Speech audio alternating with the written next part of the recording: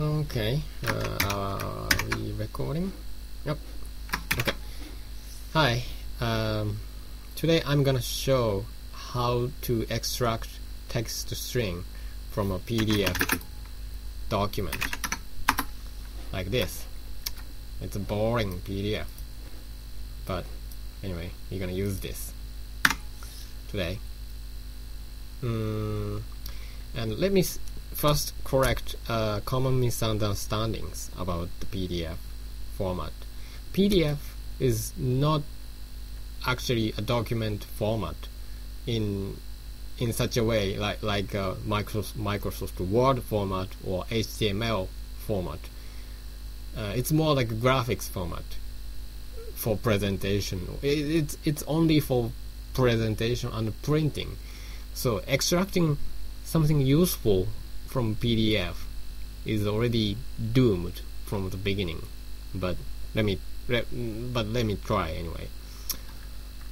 And uh, so first thing we have I have to say about PDF format is that it's a weird mixture of text and binary. Oh, by the way, in this video, I'm I'm gonna use only um, basic Unix tool like less or awk, and uh, this might be some uh, not not very familiar to you, but this is uh, there's a D, DD. These tools, these commands, only, and um, this is just educational purposes. Okay, I, I'm not gonna say this. Uh, we can do this, you know, by hand. You you have to definitely use some tools, but I mean, anyway, let me show how to do this by hand. This time, um, the so now we are looking into the actual internal of PDF. Uh, uh, I, I have I, I see some kanjis. It's not good. Uh, let's let's just maybe this works. Oh. Anyway, I, I forgot. Anyway, so some some parts in in the PDF is text format, as you can see. Uh, but we, as we go on, some parts are binary. So you can you are seeing seeing a bunch of gibberish. And uh, some parts are text again, some parts are binary again, and uh, this is a this is a PDF format. It's a mixture of text and binary. And in terms of the doc, I mean, documentation or format design, design of a document format, this is very bad because you have to parse the text you know correctly to get the content to, to process the content. Yet those contents are not human readable. Some parts are not human readable. You have to use byte offset and manipulate you know bytes by using some specialized tool. So it's not human readable but still you need to parse and uh, it's uh, it's very bad. So anyway and another thing about PDF is that it should be read backwards. You know, it it it's you you must read read read PDF from the end of the file. Uh, because PDF sup- originally supports concatenation of, of multiple PDFs, but I don't know if it's still, you know, being used by people. Anyway, so this is the this is the end of the file, and uh, PDF file. A PDF file has a, I guess, three parts basically, which is trailer and cross reference, and uh, other parts. And trailer and cross reference is very important part, and but they are actually located at the bottom, at the end of the PDF. And now we are seeing it. So first we we we have to read, you know, from the bottom, you know, from the end, and the first thing we have to find is cross reference. And the, it's it's there's a byte offset of cross cross reference here. So actually this is a byte offset within this file. So we have to read we have to access this this this location this byte in in this file.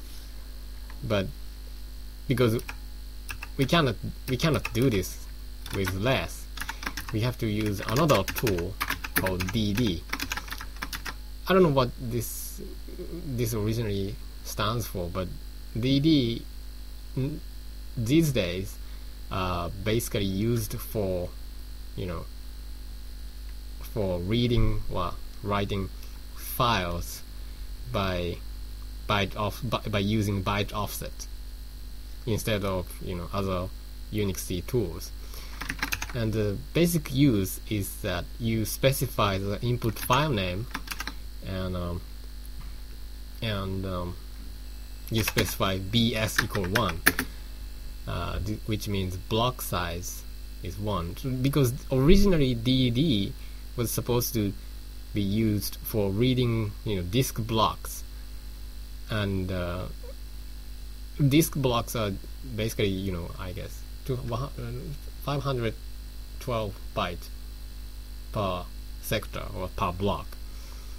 Uh, but so DD was designed to refer to these blocks by by the block number by, by off file offset or disk disk devices devices uh, by block number but we don't want to use block number we because we are just looking at, at the file.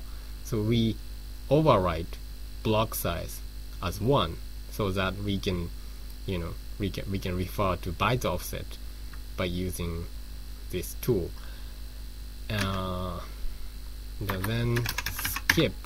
So this is actually the byte offset we we're gonna look into so by by by doing this we actually see from the standard output uh, the contents of this file from this byte offset.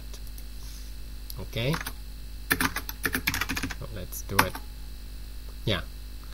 So now we are seeing the start of the start location from this is the start of cross reference. Xref means cross reference and cross reference is a, a list a, array of byte offset to to each object which is used in in a PDF but the PDF is uh, basically bunch of object it's a set of object which represent uh, you know this graphical structure of the document. But we, we're gonna talk this later uh, so this is a xref I guess. And uh, oh, oh, actually this is not not actual content. This is the output of DD to the standard error out output. So we, we just gonna cut this off.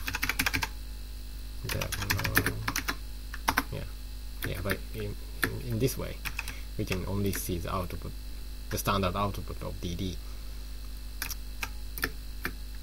and uh, so this is cross reference from here to un until here.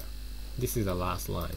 And then right after uh, the cross reference there's a trailer.